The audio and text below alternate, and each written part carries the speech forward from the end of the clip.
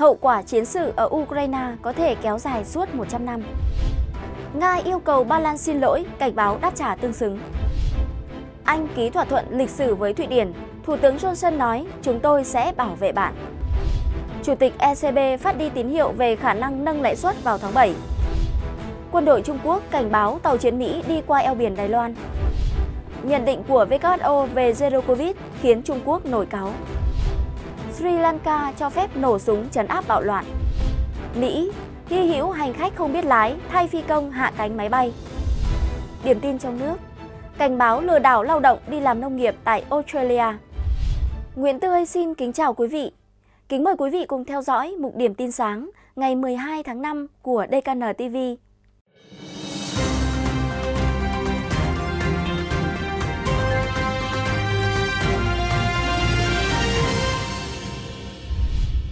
Mở đầu chương trình là phần điểm tin thế giới với những tin tức liên quan đến chiến sự Ukraine.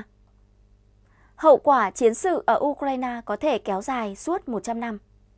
Thưa quý vị, phát biểu vào ngày 11 tháng 5, Thủ tướng Đức Olaf Scholz đã cảnh báo Ukraine có thể sẽ phải đối mặt với bom, mìn, vật liệu nổ giải rác trên khắp đất nước. Hậu quả từ chiến dịch quân sự do Nga phát động kéo dài trong 100 năm. Thủ tướng Olaf Scholz nói rằng các nước đồng minh cần giúp đỡ Ukraine tái thiết đất nước sau chiến sự. AFP đưa tin. Hậu quả từ bom mìn chưa phát nổ là điều mà Đức từng phải đối mặt sau khi kết thúc chiến tranh thế giới lần thứ hai. Bên cạnh việc tăng cường hỗ trợ vũ khí cho chính quyền Tổng thống Zelensky, các nước đồng minh phương Tây cũng đang tiến hành thảo luận về con đường tái thiết Ukraine sau khi chiến sự kết thúc. Vào ngày 10 tháng 5, Chủ tịch Ngân hàng Đầu tư châu Âu Werner Hoyer cho biết, ủng hộ kế hoạch tái thiết dành cho Ukraine tương tự như chương trình Marshall Mỹ sử dụng để tái thiết Tây Âu sau Thế chiến thứ hai. Ông Hoyer cho biết, kế hoạch này sẽ tốn nhiều tỷ đô la Mỹ. Vào tuần trước, Cao ủy EU về chính sách đối ngoại Joseph Borrell cho biết, khối này sẽ thảo luận về khả năng sử dụng tài sản của nước Nga hiện bị phương Tây đóng băng để phục vụ cho việc tái thiết Ukraine. Chuyển sang một diễn biến khác. Nga yêu cầu Ba Lan xin lỗi, cảnh báo đáp trả tương xứng.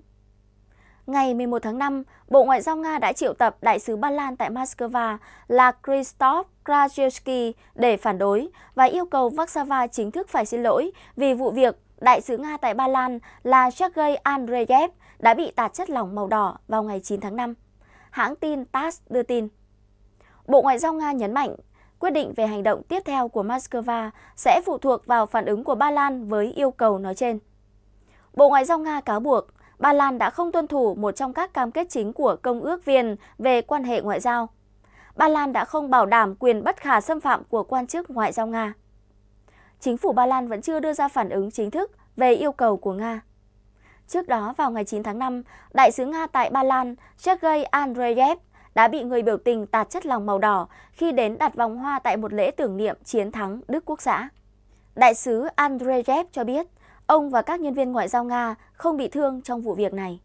Cảnh sát Ba Lan đã hộ tống các quan chức Nga khỏi hiện trường ngay sau đó.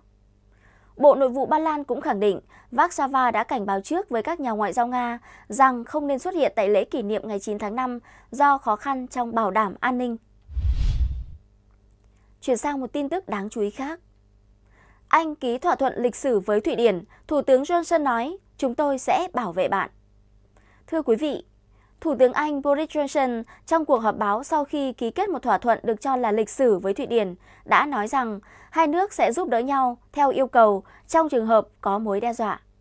Thủ tướng Anh Johnson nói rằng trong trường hợp xảy ra thảm họa hoặc một cuộc tấn công vào Thụy Điển, Vương quốc Anh sẽ hỗ trợ Thụy Điển với bất cứ điều gì Thụy Điển yêu cầu.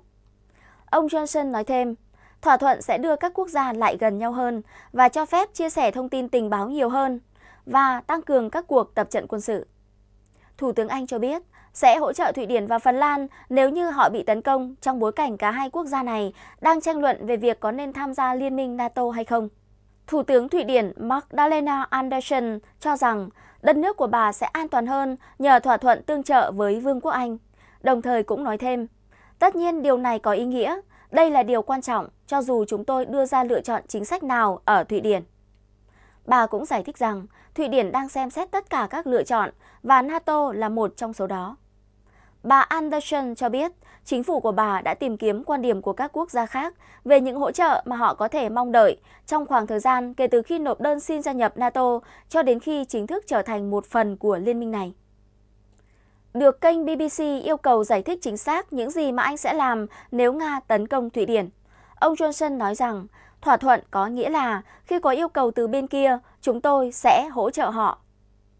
Thủ tướng Anh đang có chuyến công du nhanh gọn kéo dài 24 giờ đồng hồ, nơi ông sẽ gặp gỡ các nhà lãnh đạo của Thụy Điển và Phần Lan để thảo luận về cuộc xâm lược của Nga tại Ukraine đang diễn ra. Những bảo đảm an ninh chung mà Thủ tướng Boris Johnson đưa ra cho Thụy Điển và Phần Lan đều cho thấy quốc phòng châu Âu đang thay đổi như thế nào. Cả hai quốc gia đang xem xét đến khả năng nộp đơn xin gia nhập NATO. Dĩ nhiên, Thỏa thuận mà Anh vừa ký không phải là một loại bảo đảm an ninh tự động như giữa các thành viên NATO. Thay vào đó, đó là một tuyên bố chính trị rằng Vương quốc Anh sẽ hỗ trợ các lực lượng vũ trang của cả hai nước nếu như họ bị tấn công. Tiếp theo chương trình là một tin tức quốc tế đáng chú ý khác. Chủ tịch ECB phát đi tín hiệu về khả năng nâng lãi suất vào tháng 7. Chủ tịch Ngân hàng Trung ương châu Âu ECB Christine Lagarde vào ngày hôm qua 11 tháng 5 đã phát đi tín hiệu rằng ECB có thể sẽ nâng lãi suất từ mức thấp lịch sử vào tháng 7 tới đây, trong bối cảnh lạm phát tại khu vực sử dụng đồng euro đang tăng mạnh. Bà Lagarde cho rằng ECB nên kết thúc chương trình mua trái phiếu vào đầu quý 3 và có thể nâng lãi suất chỉ vài tuần sau đó. Bình luận này là tín hiệu rõ ràng nhất từ bà Lagarde, cho thấy ECB sẵn sàng hành động sớm trong vấn đề lãi suất khi ngân hàng này đã chậm trễ hơn Cục Dự trữ Liên bang Mỹ Fed và nhiều ngân hàng trung ương lớn khác trong việc thực hiện các biện pháp để kiềm chế lạm phát. Lần họp tiếp theo của các nhà hoạch định chính sách của ECB sẽ diễn ra vào ngày 9 tháng 6 và ngày 21 tháng 7 để quyết định phương hướng hành động tiếp theo. Lần nâng lãi suất tới đây, nếu có, sẽ là lần đầu tiên của ECB trong hơn 10 năm qua và sẽ tăng lãi suất khỏi các mức thấp lịch sử hiện tại. Lạm phát tại Eurozone đã lên đến 7,5% trong tháng 4 vừa qua, mức cao nhất từ trước đến nay của khối này và cũng cao hơn nhiều so với mức mục tiêu 2% mà ECB đặt ra. Tình hình này đã làm gia tăng những lời kêu gọi ECB nâng lãi suất giống như các ngân hàng trung ương khác. Tại cuộc họp vào tháng 4, Hội đồng Thống đốc của ECB đã quyết tâm chấm dứt chương trình mua trái phiếu trong quý 3. Chuyển sang phần tin tức liên quan đến Trung Quốc. Quân đội Trung Quốc cảnh báo tàu chiến Mỹ đi qua eo biển Đài Loan. Quân đội của Đảng Cộng sản Trung Quốc vào hôm thứ Tư cho biết, họ đã theo dõi và cảnh báo một con tàu chiến của Mỹ đi qua eo biển Đài Loan không lâu sau khi Trung Quốc thực hiện các cuộc tập trận gần hòn đảo này. Hạm đội 7 của Hải quân Hoa Kỳ cho biết, tàu tuần dương mang tên lửa dẫn đường USS Port Royal đã thực hiện một chuyến đi thường lệ qua eo biển Đài Loan, theo quy định của luật pháp quốc tế vào hôm thứ Ba ngày 10 tháng 5. Hoa Kỳ đã thực hiện các chuyến đi như vậy khoảng một lần mỗi tháng, khiến Trung Quốc tức giận Trung Quốc coi đó là dấu hiệu ủng hộ Đài Loan, hòn đảo được quản trị dân chủ mà Bắc Kinh lại coi là lãnh thổ của Trung Quốc. Chiến khu Đông Bộ của Quân Giải phóng Nhân dân Trung Quốc cho biết trong một tuyên bố rằng lực lượng của họ đã theo dõi tàu chiến Mỹ trong suốt lộ trình và đã cảnh báo con tàu.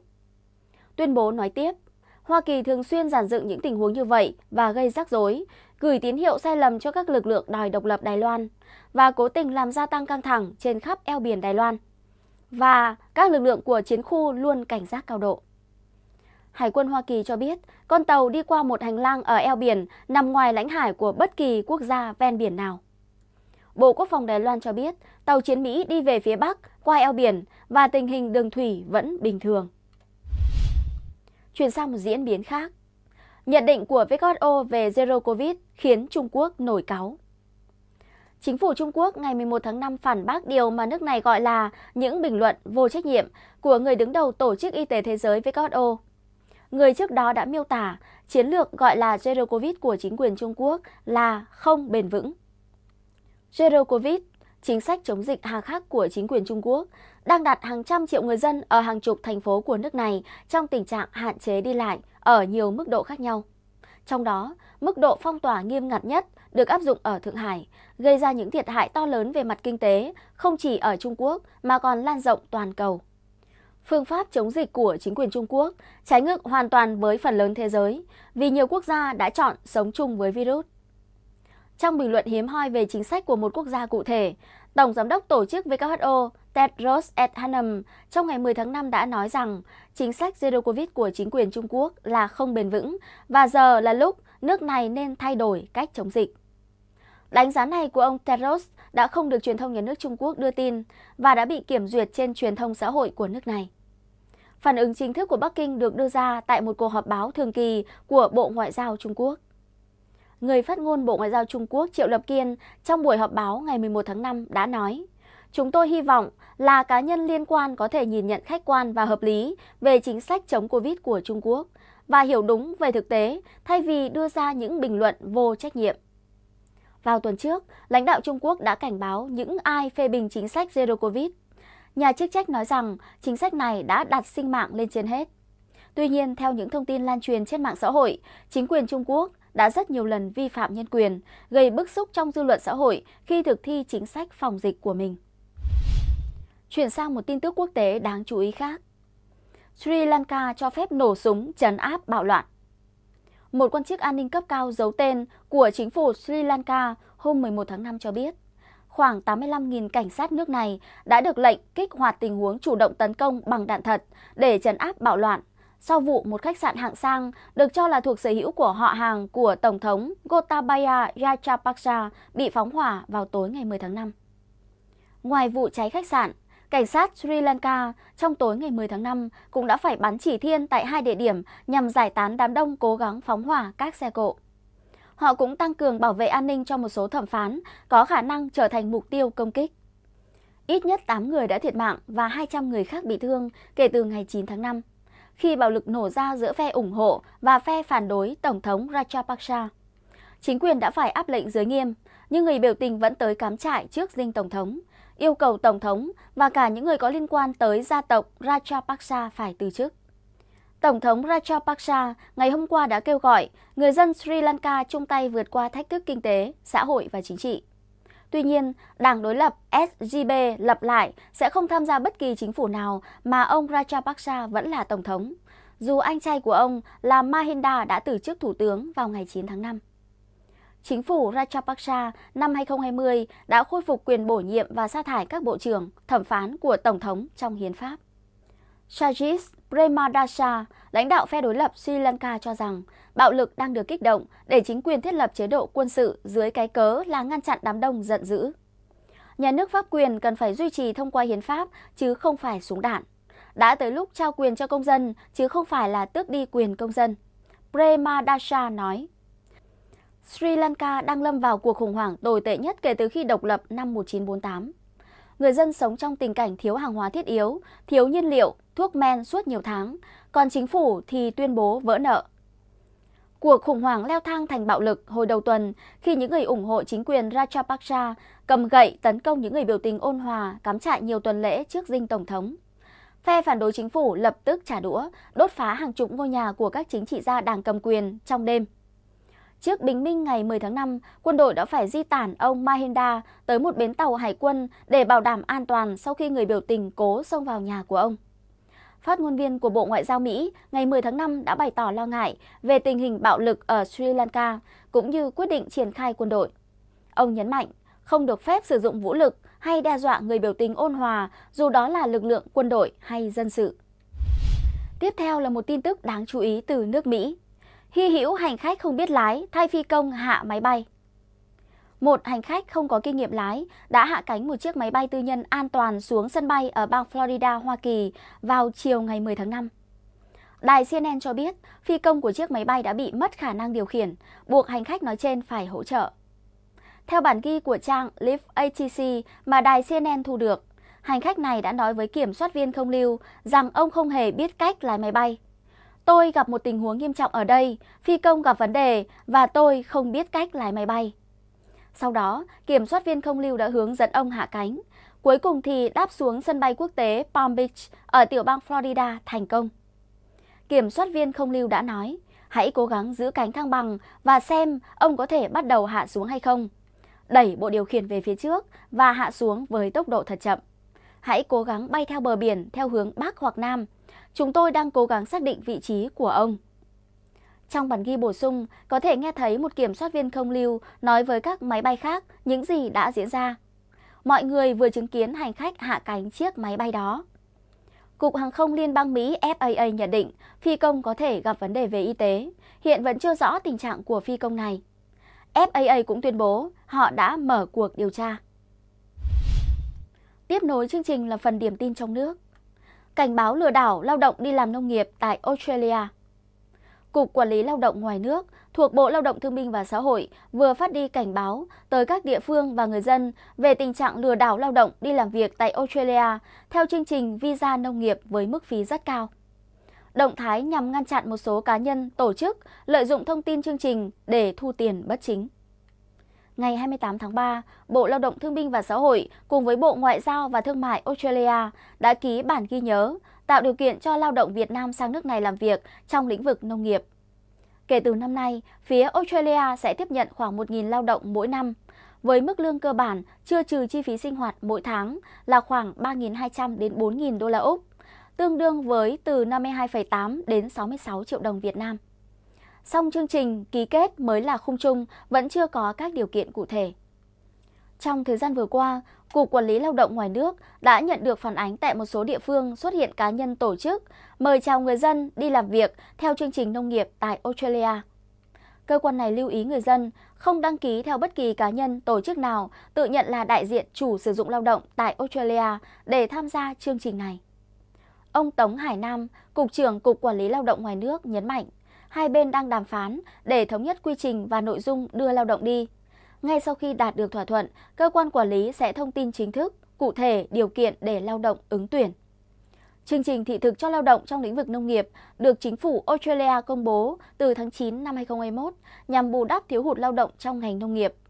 Việt Nam, Thái Lan, Indonesia và Philippines là bốn quốc gia được ưu tiên tham gia. Giai đoạn từ 2019-2021, hai nước đã phối hợp đưa khoảng 1.000 lao động Việt Nam sang Australia làm việc theo chương trình lao động kết hợp kỳ nghỉ.